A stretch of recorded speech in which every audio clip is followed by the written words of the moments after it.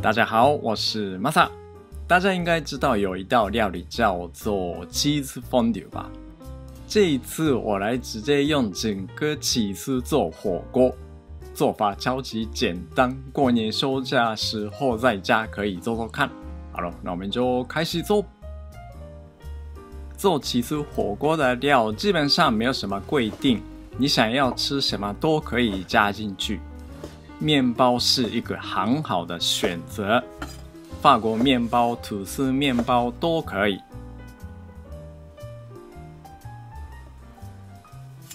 起司料理加入绿色的话，我常会用花椰菜，营养很多，特别喜欢它的口感。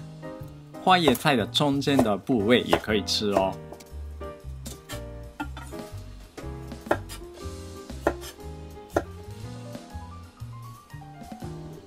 做起司火锅一定要加入马铃薯，如果要加入其他种类的淀粉菜，地瓜还是南瓜都很适合。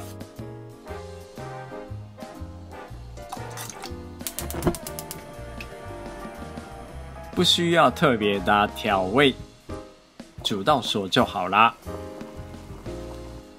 还有另外，我有准备简单的蛋白质，德式山楂是个非常适合的选择。因为这一道步骤非常的简单，所以决定做另外一道下酒菜，就是 shrimp cocktail。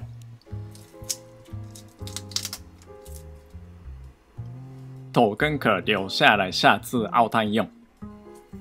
像这次的样子，用大的虾子的话，需要去掉肠泥；如果用小的虾子的话，直接穿蛋就好了。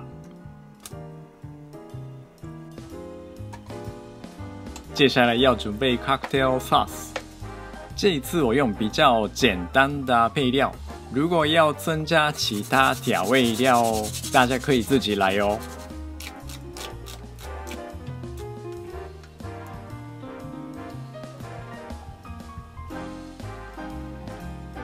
如果要给小朋友吃的话，加入美奶滋也很好吃。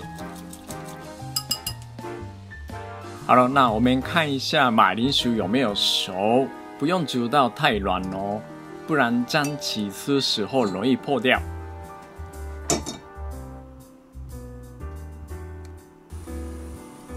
花椰菜也要穿烫，变成深绿色就可以拿出来。因为它很会吸收水分，最好不要放入冰块水冷却，放在铁架放凉就好了。最后穿烫虾子，如果怕腥味，跟柠檬片一起加热也好。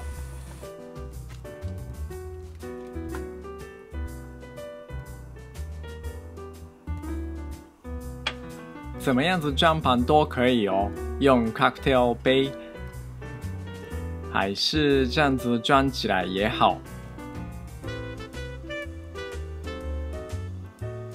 起司火锅的料也准备好啦。这次我用卡芒贝尔，我最爱吃的起司种类之一。这一次我用这一种铁板。该用小的平底锅也可以哦。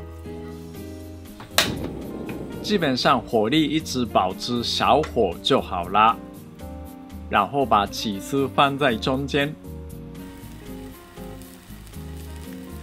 要等到中间的起司都有融化，盖起来加热可以加速。中间有一点膨胀起来就可以翻面。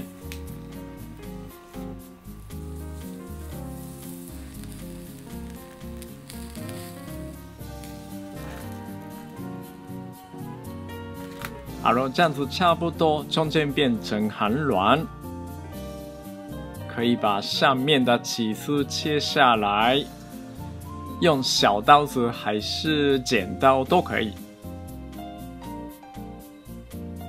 这个表面的部位也可以吃哦。接下来准备好的料放进去。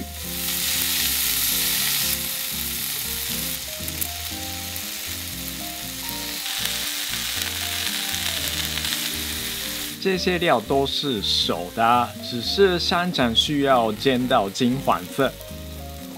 看到这个画面就开始流口水。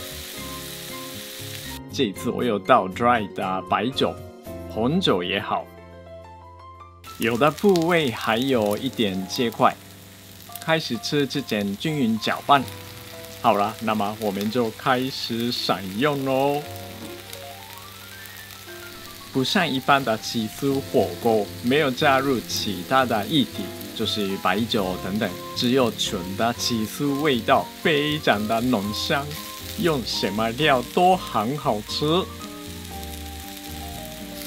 因为旁边的料有在煎，可以享受酥脆的口感。接下来试试看虾子，虽然简单的蘸酱，口味是跟餐厅吃的非常的接近。这样子先蘸起司酱之后再用这个酱也太好吃了，大家一定要试试看哦！谢谢。